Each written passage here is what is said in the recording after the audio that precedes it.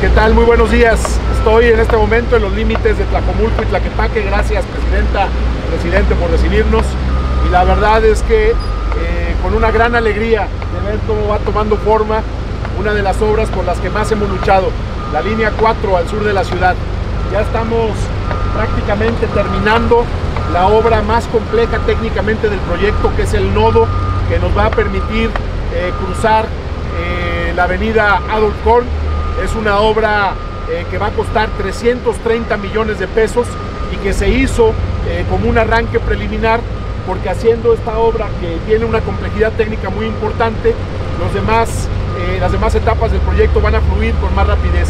Estamos en tiempo para terminar el nodo de Adolf el último día de este año.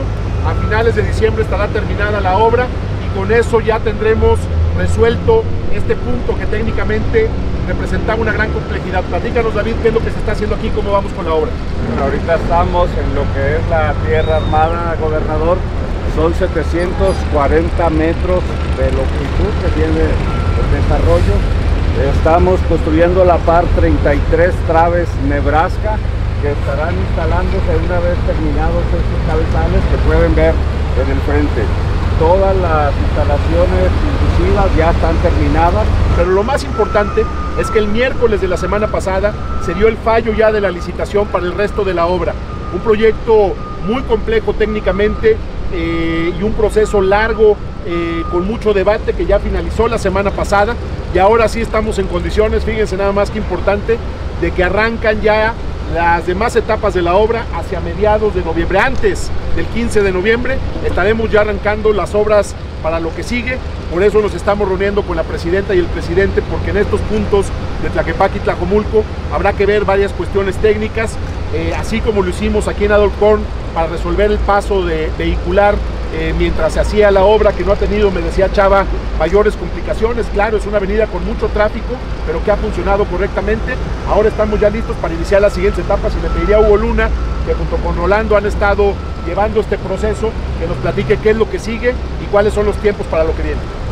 compartirles que, eh, como menciona el gobernador, el 5 de octubre se digamos, se redondeó un proceso de cinco meses, todo un proceso técnico, financiero, jurídico, de todo el concurso que tuvo que ver este proyecto con la participación del gobierno federal, del gobierno del estado de Jalisco y la iniciativa privada.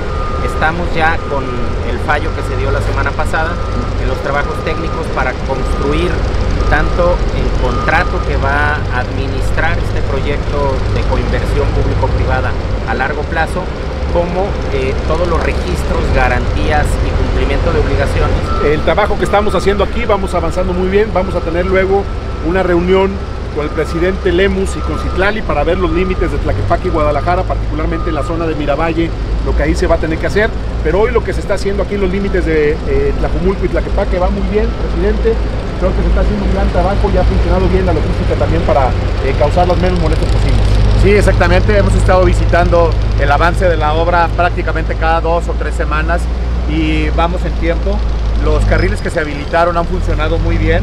Eh, desafortunadamente el temporal de lluvias nos afectó eh, algunos puntos, sin embargo, eh, junto con Tlaquepaque hemos estado atendiendo las contingencias que hemos tenido producto de la lluvia, sin embargo, la verdad es que no hemos tenido mayores percances viales y eh, pues parece ser que esta obra se estará terminando en tiempo y forma como se planteó a mediados del mes de diciembre, como lo explicaba el secretario de Infraestructura. Así es que gracias gobernador, seguimos aquí trabajando y seguiremos trabajando en las siguientes etapas que iniciarán a partir de noviembre, donde evidentemente también Tlaquepaque y Tlajumulco tienen incidencia, sobre todo en algunas obras que se necesitan en los cruces que serán complicados para no generar conflicto vial ahí. Vamos bien con la coordinación, ¿verdad, presidente? Sí, claro, muchas gracias, gobernador, por ayudarnos a transformar la ciudad a nombre de todos los tlaquepaquenses, decirte que estamos muy contentos por esta gran obra, por la conectividad que vamos a tener, pero sobre todo por los tiempos de ahorro. Platicarte que estamos también por arrancar con obras complementarias como agua amarilla, que mucho hace falta para, desde luego, pues mitigar la, la complicación que hay ahorita con el tráfico. Entonces vamos a arrancar próximamente agua amarilla. Muy bien, y vamos a ir informando sobre todo de aquellos puntos que tienen eh, una complejidad técnica mayor. Eh, cuando vamos a arrancar el nodo, por ejemplo, eh, más o menos a la altura de la clínica del Seguro Social de la 180, eh, esa va a ser más adelante. También el cruce con periférico, aunque afortunadamente lo que se va a hacer en periférico no va a implicar la, eh, el corte de circulación en esta vialidad. Son ya obras que tienen menos dificultad técnica que esta dado el corn, así es que estamos en tiempo, vamos muy bien. Eh, recapitulando rápidamente, el último día de este año terminamos el nodo de Adolf Korn. El último día de este mes ya estará firmado el contrato para arrancar las obras y a más tardar en la segunda semana de noviembre estamos arrancando la siguiente etapa de la construcción de la línea 4 para no parar hasta que terminemos y logremos esta gran obra de movilidad para el sur de la ciudad de Guadalajara.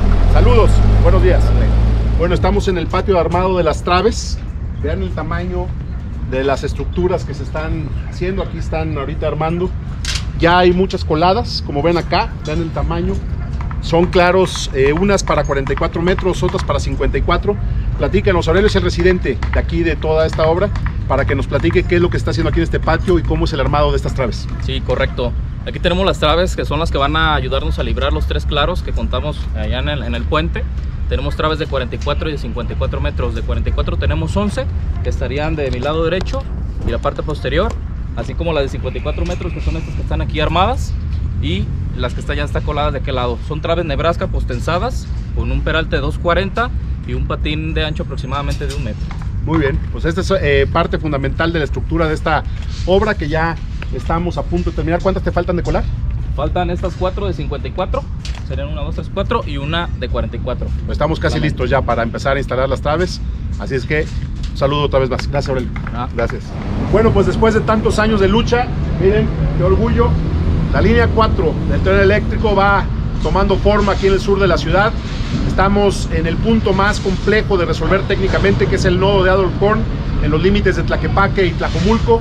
La obra va muy avanzada, la vamos a terminar eh, el último día de este año, estará este nodo terminado, pero ya eh, la buena noticia es que a partir de la segunda semana de noviembre arrancan todas las etapas nuevas de la línea 4, la obra va a arrancar a una velocidad ya eh, muy intensa que no va a detenerse hasta que acabemos esta gran obra de 22 kilómetros que va a conectar el sur de Guadalajara, nos va a permitir estar de la cabecera de Tlajomulco hasta Miravalle en 40 minutos. Imagínense lo que eso significa para la movilidad de la ciudad, una obra que tiene muchos beneficios y por la cual, como les eh, decía en un principio, hemos dado una batalla que hoy eh, nos debe de hacer sentir orgullosos a todos como tapatíos. Ahí vamos avanzando. Saludos desde Tlajomulco.